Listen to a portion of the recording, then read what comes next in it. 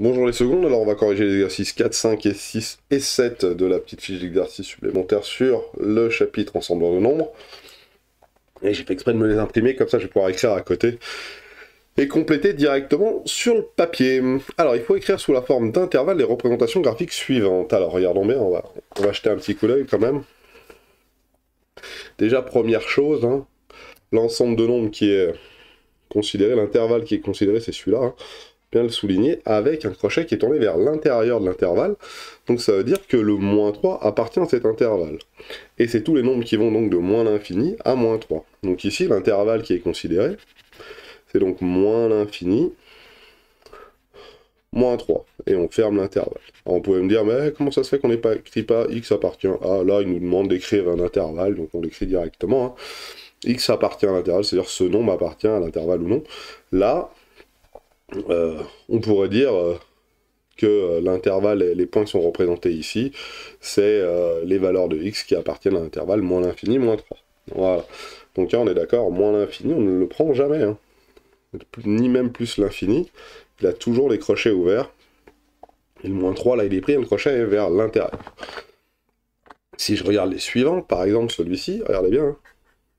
Le crochet est vers l'extérieur ici, le crochet est vers l'extérieur ici, c'est tous les nombres qui sont situés ici. Et si je regarde bien, attention, pas me faire arnaquer, au-dessus, une unité, c'était... Euh, une graduation, c'est une unité. Là, une graduation, c'est deux unités. Attention, ils ont essayé de me faire un piège.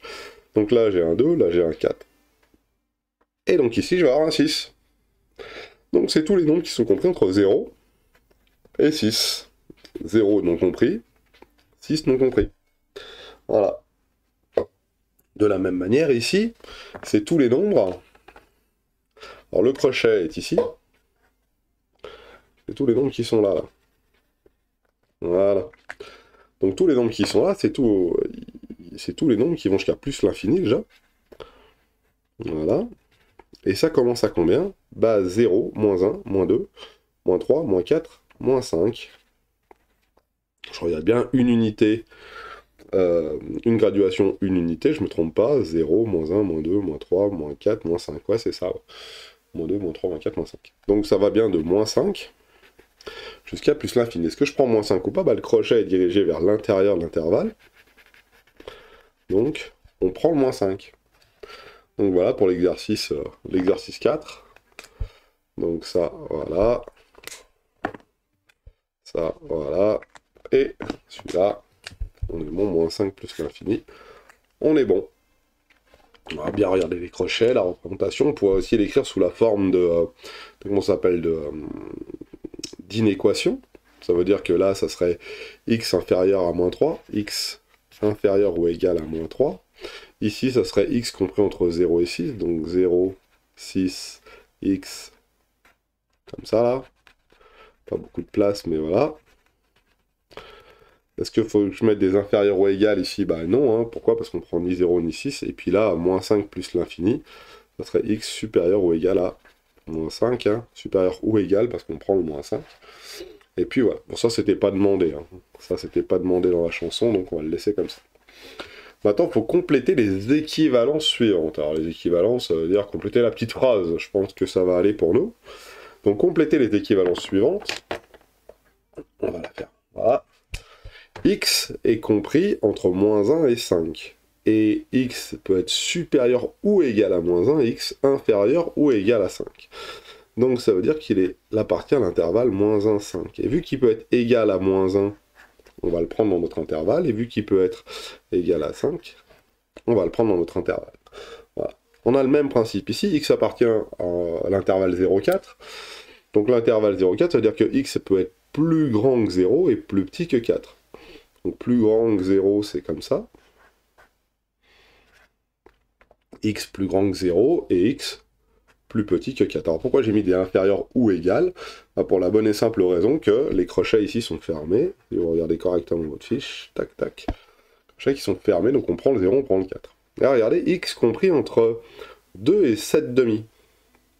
Sauf que, attention, on n'a pas des inférieurs égales, on a des strictement inférieurs. 2 est strictement inférieur à x. Donc ce est compris entre 2 et 7 demi, mais cette fois-ci 2, on ne le prend pas, et 7 demi, on ne le prend pas non plus. Est bien d'accord X peut pas être égal à 7 demi. Sinon, j'aurais eu un inférieur ou égal. Maintenant, x compris entre moins 2 et moins 1. Attention, il y a un des crochets qui est vers l'extérieur et un qui est vers l'intérieur. x est donc compris entre moins 2 et 1, excusez-moi. Moins 2 et 1. Mais attention, on prend le moins 2. Donc x peut être supérieur ou égal à moins 2. Et par contre, il est strictement inférieur à... Là, il va vous faire jouer avec les crochets. On va faire le dernier. Donc x est compris entre moins 5 et 0. x compris entre moins 5 et 0. Tous les nombres compris entre moins 5 et 0. x peut être égal à moins 5, donc on prend le moins 5. Par contre, x ne peut pas être égal à 0, donc on ne prend pas le 0. Et on ouvre le crochet. Voici pour l'exercice Donc, c'est pas bien difficile. Et ça va assez vite à faire.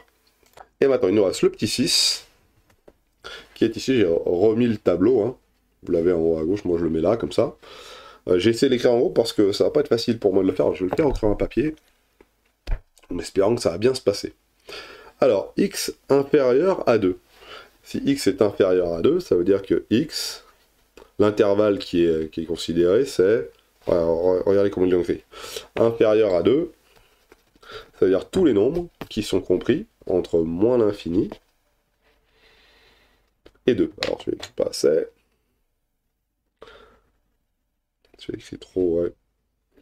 Je sais pas si vous arrivez bien à lire, je vais essayer de voir si je peux pas trouver plus épais, hop là. Ah, celui-là, va bien sûr. Moins l'infini et 2. Alors, est-ce que je prends l'infini? Jamais, je prends jamais l'infini, c'est trop grand pour le rentrer dans mon intervalle. Est-ce que je prends mon 2 X est strictement inférieur à 2, donc je ne prends pas le 2. Si je veux le représenter, bah, c'est facile. Hein Oula. Je vais mettre le 2 ici. Voilà. Moins l'infini 2, c'est tout ce qu'il y a là. Comment est-ce que je mets le crochet? Eh bien, mon crochet, lui... Ah, je ne prends pas 2, excusez-moi. Je me suis trompé. Je ne prends pas 2. Voilà, donc le crochet est tourné vers l'extérieur. Ça, c'est un 2. Pas beaucoup de place, mais vous avez compris le principe. Voilà. Là, regardez bien, j'ai une représentation qui va de moins 2 à 1 et moins 2 je le prends, et 1 je le prends. Donc là, moins 2 à 1, moins 2 je le prends, et 1 je le prends. Alors vous notez que dans les intervalles, hein, le chiffre de gauche, le nombre de gauche est toujours plus petit que le nombre de droite. Hein. On n'écrit pas les nombres qui vont de 1 à moins 2. On écrit les nombres qui vont de moins 2 à 1. Voilà.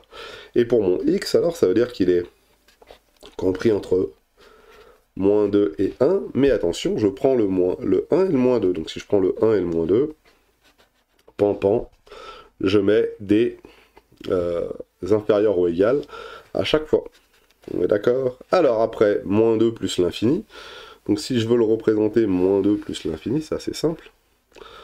Moins 2 est ici. Je veux dire que moins 2 est là. Et c'est tous les nombres qui sont de moins 2 à plus l'infini. Donc c'est tous les nombres qui sont situés, eux, ici. Je les colorie bien pour bien les montrer. Voilà. Et ici, j'ai moins 2. Voilà. Pas beaucoup de place, mais le moins 2, il est situé ici, voilà. Le moins 3 est situé ici, le moins 1 est situé ici, le 0 est situé par ici. Voilà. Moins 2 plus l'infini, c'est ça, et ça veut dire quoi? Ça veut dire x supérieur à moins 2. Et x supérieur à moins 2, c'est écrit comment? Alors, soit x moins 2 comme ça, on peut l'écrire comme ça, ou on peut écrire qui est souvent... On, inverse des fois la notation. x supérieur à moins 2, x supérieur ou égal à moins 2, voilà comment ça s'écrit. x compris entre moins 1 et 2. Alors ça c'est facile. Moins 1 et 2, en plus c'est des inférieurs ou égal à chaque fois, donc moins 1 et 2 sont compris dans l'intervalle, x peut être égal à moins 1, x peut être égal à 2. Donc moins 1, 2. On va dire que le moins 1 est ici, que le 2 est là. Voilà. Euh, en choix de couleur.